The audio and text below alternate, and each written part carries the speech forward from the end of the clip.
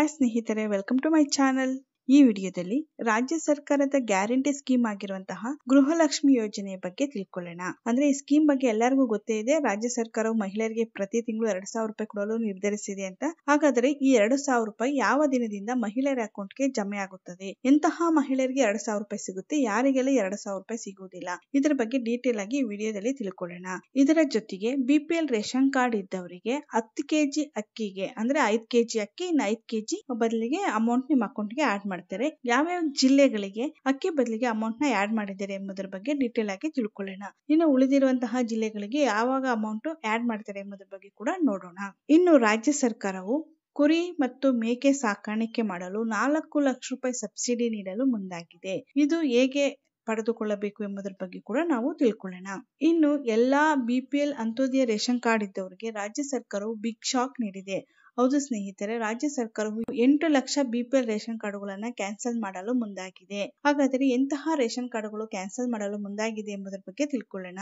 ಇನ್ನು ಆಧಾರ್ ಕಾರ್ಡ್ ಇದ್ದವರಿಗೆ ಕೇಂದ್ರ ಸರ್ಕಾರ ಹೊಸದಾಗಿ ರೂಲ್ಸ್ ಜಾರಿಗೆ ತಂದಿದ್ದಾರೆ, ಆಧಾರ್ ಕಾರ್ಡ್ ಇದ್ದವರು ತಪ್ಪದೆ ಈ ಕೆಲಸ ಮಾಡಲೇಬೇಕು. ಇಲ್ಲದಿದ್ದರೆ ನಿಮ್ಮ ಆಧಾರ್ ಕಾರ್ಡ್ ಕ್ಯಾನ್ಸಲ್ ಆಗುತ್ತೆ. ಇದರ ಬಗ್ಗೆ ಡೀಟೇಲ್ ಆಗಿ ನಾವು ಈ ವಿಡಿಯೋದಲ್ಲಿ ತಿಳ್ಕೊಳ್ಳೋಣ. ಅದಕ್ಕೂ ಮುಂಚಿತವಾಗಿ ನೀವಿನ್ನು ನಮ್ಮ ಚಾನಲ್ಗೆ ಸಬ್ಸ್ಕ್ರೈಬ್ ಆಗಿಲ್ಲವೆಂದರೆ ಈಗಲೇ ಸಬ್ಸ್ಕ್ರೈಬ್ ಆಗ್ಬೋದಲ್ವಾ? ನೀವಿನ್ನು ವಿಡಿಯೋಗೆ ಲೈಕ್ ಮಾಡಿಲ್ಲವೆಂದರೆ ಈಗಲೇ ಲೈಕ್ ಮಾಡಿ ಮತ್ತು ವಿಡಿಯೋನ ಸ್ಕಿಪ್ ಮಾಡದೆ ಕೊನೆಯವರೆಗೂ ನೋಡಿ. ಇದೇ ಆಗಸ್ಟ್ ಮೂವತ್ತರಂದು ಸಾಂಸ್ಕೃತಿಕ ನಗರಿ ಮೈಸೂರಿನ ಮಹಾರಾಜ ಕಾಲೇಜು ಮೈದಾನದಲ್ಲಿ ಕುಟುಂಬದ ಯಜಮಾನಿಗೆ ಎರಡು ಸಾವಿರ ರೂಪಾಯಿ ನೀಡುವ ಗೃಹಲಕ್ಷ್ಮಿ ಯೋಜನೆಗೆ ಅದ್ದೂರಿ ಚಾಲನೆ ಸಿಗಲಿತು ಅದೇ ದಿನ ಒಂದು ಪಾಯಿಂಟ್ ಒಂದು ಸೊನ್ನೆ ಕೋಟಿ ಗೃಹಿಣಿಯರ ಬ್ಯಾಂಕ್ ಖಾತೆಗೆ ತಲಾ ಎರಡು ಸಾವಿರ ಹಣ ಜಮಾ ಆಗಲಿದೆ ಎಂದು ಉಪಮುಖ್ಯಮಂತ್ರಿ ಡಿಕೆ ಶಿವಕುಮಾರ್ ತಿಳಿಸಿದ್ದಾರೆ. ಒಂದು ಪಾಯಿಂಟ್ ಹತ್ತು ಕೋಟಿ ಫಲಾನುಭವಿಗಳು ಇಡೀ ದೇಶದಲ್ಲೇ ಅತ್ಯಂತ ದೊಡ್ಡ ಹಾಗೂ ಬಹಳ ಮಹತ್ವಾಕಾಂಕ್ಷಿ ಯೋಜನೆ ಇದು ಈಗಾಗಲೇ ಒಂದು ಪಾಯಿಂಟ್ ಒಂದು ಸೊನ್ನೆ ಕೋಟಿ ನಾಯಕಿಯರು ಅಥವಾ ಕುಟುಂಬದ ಯಜಮಾನಿಯರು ನೋಂದಾಯಿಸಿಕೊಂಡಿದ್ದಾರೆ.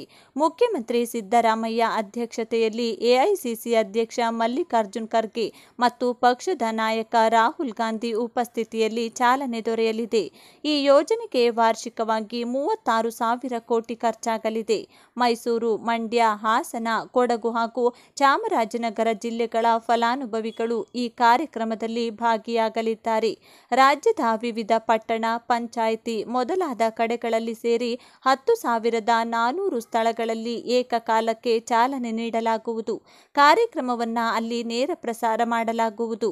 ಫಲಾನುಭವಿಗಳು ಮನೆಗಳ ಮುಂದೆ ನಾನು ಗೃಹಲಕ್ಷ್ಮಿ, ನಾ ನಾಯಕಿ ಎಂದು ರಂಗೋಲಿ ಬಿಡಿಸಿ ಸಂಭ್ರಮಿಸಲಿದ್ದಾರೆ ಎಂದು ಉಪಮುಖ್ಯಮಂತ್ರಿಗಳು ಮಾಹಿತಿ ನೀಡಿದ್ದಾರೆ. ಏಕಕಾಲಕ್ಕೆ ಹಣ ಜಮಾ. ಆಗಸ್ಟ್ ಮೂವತ್ತರಂದು ಒಂದು ಬಟನ್ ಹೊತ್ತಿದ ಕೂಡಲೇ ಎಲ್ಲ ಫಲಾನುಭವಿಗಳ ಬ್ಯಾಂಕ್ ಖಾತೆಗೆ ಹಣ ಸಂದಾಯವಾಗುತ್ತದೆ. ಅದರ ಮೆಸೇಜ್ಗಳು ಫಲಾನುಭವಿಗಳ ಮೊಬೈಲ್ ನಂಬರ್ಗಳಿಗೆ ಬರುತ್ತದೆ. ಎಲ್ಲ ಹಣವನ್ನು ಬ್ಯಾಂಕ್ಗೆ ಡೆಪಾಸಿಟ್ ಮಾಡಿದ್ದೇವೆ. ಸರ್ವರ್ ಸಮಸ್ಯೆಯಾದರೆ ಒಂದಿಷ್ಟು ಜನರಿಗೆ ಹಣ ಬರುವುದು ತಡವಾಗಬಹುದು ಅಷ್ಟೇ ಅಂತಲೂ ಡಿಕೆ ಶಿವಕುಮಾರ್ ಸ್ಪಷ್ಟನೆ ಕೊಟ್ಟಿದ್ದಾರೆ. ಬೆಳಗಾವಿಯಲ್ಲಿ ಮುಂದೆ ಇನ್ನೊಂದು ಕಾರ್ಯಕ್ರಮ ಮಾಡಲು ಪ್ಲಾನ್ ಮಾಡುತ್ತಿದ್ದೇವೆ. ಎಲ್ಲರ ಒಮ್ಮತದ ತೀರ್ಮಾನದಿಂದ ಮೈಸೂರಿನಲ್ಲಿ ಕಾರ್ಯಕ್ರಮ ಮಾಡುತ್ತಿದ್ದೇವೆ. ಮೈಸೂರಿನಲ್ಲಿ ಅನ್ನಭಾಗ್ಯ ಮಾಡುವ ಪ್ಲಾನ್ ಇತ್ತು. ಅಕ್ಕಿ ವಿಚಾರದಲ್ಲಿ ಒಂದಷ್ಟು ಅಡೆತಡೆ ಇದೆ. ಹೀಗಾಗಿ ಗೃಹಲಕ್ಷ್ಮಿಯನ್ನ ಇಲ್ಲಿಂದ ಆರಂಭಿಸುತ್ತಿದ್ದೇವೆ ಎಂದು ಡಿಸಿಎಂ ಮಾಹಿತಿ ನೀಡಿದ್ದಾರೆ. ಫಲಾನುಭವಿಗಳ ಫೈನಲ್ ಪಟ್ಟಿ ಚೆಕ್ ಮಾಡಿ. ಫಲಾನುಭವಿಗಳ ಫೈನಲ್ ಪಟ್ಟಿ ನಿಮ್ಮ ಹೆಸರಿದೆಯಾ ಎಂಬುದನ್ನು ತಿಳಿಯಲು ಹೀಗೆ ಮಾಡಿ. ಸರ್ಕಾರ ನಿಯೋಜಿಸಿರುವ ಎಂಟು ಒಂದು ನಾಲ್ಕು ಏಳು ಐದು ಸೊನ್ನೆ ಸೊನ್ನೆ ಐದು ಸೊನ್ನೆ ಸೊನ್ನೆ ಸಹಾಯವಾಣಿ ಸಂಖ್ಯೆಗೆ ಎಸ್ಎಂಎಸ್ ಮಾಡಿದರೆ ತಕ್ಷಣ ನಿಮ್ಮ ನೋಂದಣಿ ಕುರಿತ ಮಾಹಿತಿ ನಿಮ್ಮ ಮೊಬೈಲ್ಗೆ ಬರಲಿದೆ. ಎಂಟು ಒಂದು ನಾಲ್ಕು ಏಳು ಐದು ಸೊನ್ನೆ ಸೊನ್ನೆ ಐದು ಸೊನ್ನೆ ಸೊನ್ನೆ ಸಹಾಯವಾಣಿ ಸಂಖ್ಯೆಗೆ ಎಸ್ಎಂಎಸ್ ಮಾಡಿದ ತಕ್ಷಣ ನಿಮ್ಮ ನೋಂದಣಿ ಯಶಸ್ವಿಯಾಗಿದ್ದರೆ ನಿಮ್ಮ ಗೃಹಲಕ್ಷ್ಮಿ ಯೋಜನೆ ಅರ್ಜಿ ಸಂಖ್ಯೆ G L one seven zero two double zero one X X X X ಅನ್ನು ಯಶಸ್ವಿಯಾಗಿ ಸಲ್ಲಿಸಲಾಗಿದೆ. ಕರ್ನಾಟಕ ಸರ್ಕಾರ ಎಂದು ಮೆಸೇಜ್ ಬರುತ್ತದೆ. ಹೀಗೆ ಮೆಸೇಜ್ ಬಂದರೆ ನೀವು ಗೃಹಲಕ್ಷ್ಮಿ ಯೋಜನೆಯ ಫಲಾನುಭವಿಗಳ ಫೈನಲ್ ಪಟ್ಟಿಯಲ್ಲಿ ಇದ್ದೀರಿ ಎಂದರ್ಥ. ನಿಮಗೆ ಗೃಹಲಕ್ಷ್ಮಿ ಯೋಜನೆಯ ಮೊದಲ ಕಂತಿನ ಎರಡು ಸಾವಿರ ಹಣ ಜಮಾ ಖಚಿತ. ಅನ್ನಭಾಗ್ಯ ಯೋಜನೆಯ ಅಡಿಯಲ್ಲಿ ರಾಜ್ಯ ಸರ್ಕಾರದಿಂದ ಹೆಚ್ಚುವರಿ ಐದು ಕೆಜಿ ಅಕ್ಕಿ ನೀಡುವುದಾಗಿ ಘೋಷಿಸಿತ್ತು. ಆದರೆ ಅಕ್ಕಿ ಕೊರತೆಯಿಂದ ಅದು ಸಾಧ್ಯವಾಗಿರಲಿಲ್ಲ. ಇದರ ಬದಲಾಗಿ ಹೆಚ್ಚುವರಿ ಐದು ಕೆಜಿ ಅಕ್ಕಿಗೆ ಬದಲಾಗಿ ಹಣ ನೀಡುವುದಕ್ಕೆ ಶುರು ಮಾಡಿತು. ಈಗ ಜುಲೈ ತಿಂಗಳ ಹಣದ ಬಳಿಕ ಆಗಸ್ಟ್ ತಿಂಗಳ ಹೆಚ್ಚುವರಿ ಐದು ಕೆಜಿ ಅಕ್ಕಿ ಹಣ ಫಲಾನುಭವಿಗಳ ಖಾತೆಗೆ ಜಮಾ ಮಾಡುವುದಕ್ಕೆ ಆರಂಭಗೊಂಡಿದೆ. ಈ ಬಗ್ಗೆ ಆಹಾರ ಮತ್ತು ನಾಗರಿಕ ಸರಬರಾಜು ಇಲಾಖೆಯ ಆಯುಕ್ತೆ ಕನಗವಲ್ಲಿ ಮಾಹಿತಿ ನೀಡಿದ್ದು, ಅನ್ನಭಾಗ್ಯ ಯೋಜನೆಯಡಿ ಹೆಚ್ಚುವರಿ ಅಕ್ಕಿ ಬದಲಾಗಿ ನೀಡಬೇಕಾಗಿದ್ದ ಆಗಸ್ಟ್ ತಿಂಗಳ ಹಣವನ್ನು ನೇರ ನಗದು ವರ್ಗಾವಣೆ ಅಂದರೆ ಡಿಬಿಟಿ ಮೂಲಕ ಫಲಾನುಭವಿಗಳ ಖಾತೆಗೆ ವರ್ಗಾಯಿಸುವ ಪ್ರಕ್ರಿಯೆಯನ್ನು ಆಹಾರ ಇಲಾಖೆಯಿಂದ ಪ್ರಾರಂಭಿಸಲಾಗಿದೆ ಎಂದಿದ್ದಾರೆ. ಈ ತಿಂಗಳ ನೇರ ನಗದು ವರ್ಗಾವಣೆ ಆಗಸ್ಟ್ ಹತ್ತರಿಂದಲೇ ಆರಂಭಗೊಳ್ಳಬೇಕಿತ್ತು. ಆದರೆ ಡಿಬಿಟಿ ವ್ಯವಸ್ಥೆಯಲ್ಲಿನ ಕೆಲ ತಾಂತ್ರಿಕ ಸಮಸ್ಯೆಯಿಂದ ಅದು ಸಾಧ್ಯವಾಗಿರಲಿಲ್ಲ.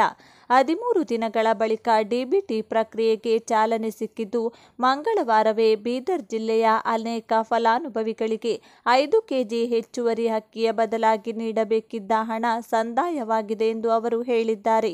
ಇನ್ನು ರಾಜ್ಯದ ಇತರೆ ಜಿಲ್ಲೆಗಳ ಅನ್ನಭಾಗ್ಯ ಫಲಾನುಭವಿಗಳಿಗೆ ಮುಂದಿನ ಒಂದು ವಾರದಲ್ಲಿ ಖಾತೆಗೆ ನಗದು ಜಮಾ ಆಗಲಿದೆ ಎಂಬುದಾಗಿ ಆಹಾರ ಮತ್ತು ನಾಗರಿಕ ಸರಬರಾಜು ಇಲಾಖೆ ಆಯುಕ್ತೆ ಕನಗವಲ್ಲಿ ತಿಳಿಸಿದ್ದಾರೆ. ಕುರಿ ಸಾಕಾಣಿಕೆಗೆ ನೀಡಲಾಗುವ ಸಹಾಯಧನದ ಬಗ್ಗೆ ಈ ವಿಡಿಯೋದಲ್ಲಿ ನೀಡಲಾಗಿದೆ. ನೀವು ಈ ಯೋಜನೆಯ ಅಡಿಯಲ್ಲಿ ಎಷ್ಟು ಹಣವನ್ನು ಪಡೆದುಕೊಳ್ಳಬಹುದು? ಈ ಯೋಜನೆಗೆ ಅರ್ಜಿ ಸಲ್ಲಿಸುವುದು ಹೇಗೆ? ಇದಕ್ಕಾಗಿ ಒದಗಿಸಬೇಕಾದ ದಾಖಲೆಗಳು ಯಾವುವು ಎನ್ನುವ ಸಂಪೂರ್ಣ ಮಾಹಿತಿಯನ್ನು ಈ ವಿಡಿಯೋದಲ್ಲಿ ನೀಡಲಾಗಿದೆ. ವಿಡಿಯೋವನ್ನು ತಪ್ಪದೆ ಕೊನೆವರೆಗೂ ನೋಡಿ. ಹೌದು, ರಾಜ್ಯಾದ್ಯಂತ ಇರುವ ಎಲ್ಲ ರೈತರಿಗೆ ರಾಜ್ಯದ ಕುರಿ ಅಭಿವೃದ್ಧಿ ನಿಗಮದಿಂದ ಸಹಾಯಧನಕ್ಕೆ ಅರ್ಜಿಗಳನ್ನು ಕರೆಯಲಾಗಿದೆ.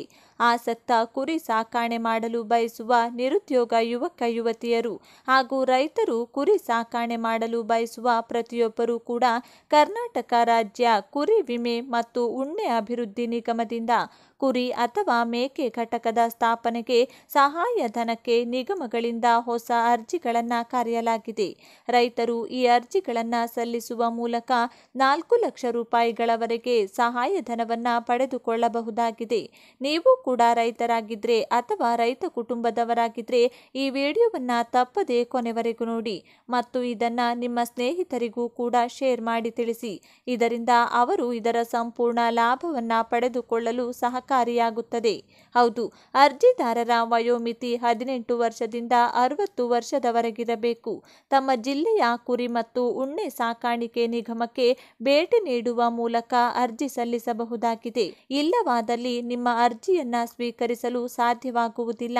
ಈ ಅರ್ಜಿಯನ್ನು ಸಲ್ಲಿಸುವ ಮೂಲಕ ನೀವು ನಾಲ್ಕು ಲಕ್ಷ ಸಹಾಯಧನವನ್ನು ಪಡೆದುಕೊಳ್ಳಬಹುದಾಗಿದೆ. ನೀವು ಅರ್ಹರಾಗಿದ್ದರೆ ಈ ಯೋಜನೆಗೆ ಅರ್ಜಿಯನ್ನು ಸಲ್ಲಿಸಬಹುದಾಗಿದೆ. ಆಧಾರನ್ನು ಉಚಿತವಾಗಿ ನವೀಕರಿಸುವ ಕೊನೆಯ ದಿನಾಂಕವನ್ನು ವಿಸ್ತರಿಸಲಾಗಿದೆ. ಈ ಮೊದಲು ಇದನ್ನು ಉಚಿತವಾಗಿ ನವೀಕರಿಸಲು ಕೊನೆಯ ದಿನಾಂಕ ಜೂನ್ ಹದಿನಾಲ್ಕು ಆಗಿತ್ತು. ಅದನ್ನು ಸೆಪ್ಟೆಂಬರ್ ಹದಿನಾಲ್ಕರವರೆಗೆ ವಿಸ್ತರಿಸಲಾಗಿದೆ.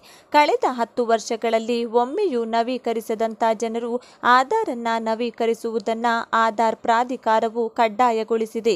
ಇದಕ್ಕಾಗಿ ಯುಐಡಿಎಐ ತನ್ನ ಉಚಿತ ನವೀಕರಣದ ಕೊನೆಯ ದಿನಾಂಕವನ್ನು ಮತ್ತೆ ವಿಸ್ತರಿಸಿದೆ. ಈಗ ಜನರು ತಮ್ಮ ಆಧಾರ್ನಲ್ಲಿ ವಿಷಯಗಳನ್ನು ನವೀಕರಿಸಲು ಮೂರು ತಿಂಗಳ ಸಾಕಷ್ಟು ಸಮಯವನ್ನು ಹೊಂದಿದ್ದಾರೆ. ಯಾವುದೇ ಆಧಾರ್ ಹೊಂದಿರುವವರು ತಮ್ಮ ಆಧಾರನ್ನ ಆನ್ಲೈನ್ನಲ್ಲಿ ಉಚಿತವಾಗಿ ನವೀಕರಿಸಬಹುದು. ಆಧಾರ್ ಪೋರ್ಟಲ್ ಮೂಲಕ ಮೊಬೈಲ್ ಸಂಖ್ಯೆ ಅಥವಾ ಇಮೇಲ್ ಐಡಿಯನ್ನು ಆನ್ಲೈನ್ನಲ್ಲಿ ನವೀಕರಿಸಬಹುದು. ಇದಕ್ಕಾಗಿ ಯಾವುದೇ ಶುಲ್ಕ ವಿಧಿಸಲಾಗುವುದಿಲ್ಲ. ಅದೇ ಸಮಯದಲ್ಲಿ ನೀವು ನಿಮ್ಮ ಹತ್ತಿರದ ಆಧಾರ್ ಕೇಂದ್ರಕ್ಕೆ ಹೋಗಿ, ಆಧಾರ್ನಲ್ಲಿ ಕೆಲವು ನವೀಕರಣಗಳನ್ನು ಪಡೆದರೆ ಅದಕ್ಕಾಗಿ ನೀವು ಐವತ್ತು ರೂಪಾಯಿ ಶುಲ್ಕವನ್ನು ಪಾವತಿಸಬೇಕಾಗುತ್ತದೆ. ಈ ಮೊದಲು ಆಧಾರ್ ಬಳಕೆದಾರರಿಗೆ ಜನಸಂಖ್ಯಾ ವಿವರಗಳನ್ನು, ಅಂದರೆ ಮೊಬೈಲ್ ಸಂಖ್ಯೆ ಮತ್ತು ಇಮೇಲ್ ಐಡಿಯನ್ನು ಉಚಿತವಾಗಿ ನವೀಕರಿಸಲು ಮಾರ್ಚ್ ಹದಿನೈದರಿಂದ ಜೂನ್ ಹದಿನಾಲ್ಕರವರೆಗೆ ಸಮಯ ನೀಡಲಾಗಿತ್ತು. ಅದರ ಗಡುವು ಜೂನ್ ಹದಿನಾಲ್ಕರಂದು ಕೊನೆಗೊಂಡಿತು. ಆದಾಗ್ಯೂ ಆಧಾರ್ ಪ್ರಾಧಿಕಾರವು ಮತ್ತೊಮ್ಮೆ ಅದನ್ನು ಮೂರು ತಿಂಗಳುಗಳವರೆಗೆ ವಿಸ್ತರಿಸಿದೆ. ಈಗ ಜನರು ತಮ್ಮ ಆಧಾರ್ ವಿವರಗಳನ್ನು ಹದಿನಾಲ್ಕು ಸೆಪ್ಟೆಂಬರ್ ಎರಡು ಸಾವಿರದ ಇಪ್ಪತ್ತ್ಮೂರರವರೆಗೆ ಉಚಿತವಾಗಿ ನವೀಕರಿಸಬಹುದು.